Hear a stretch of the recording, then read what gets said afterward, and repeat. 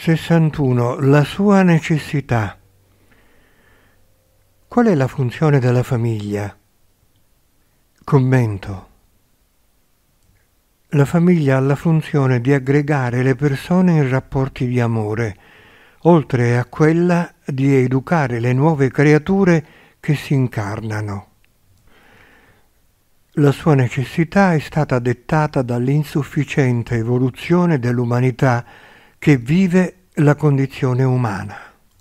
Per i maestri la funzione dell'attuale famiglia continuerà ad essere ridimensionata di pari passo con l'evoluzione raggiunta dall'umanità incarnata che, come già avviene, imporrà sempre di più la famiglia del futuro.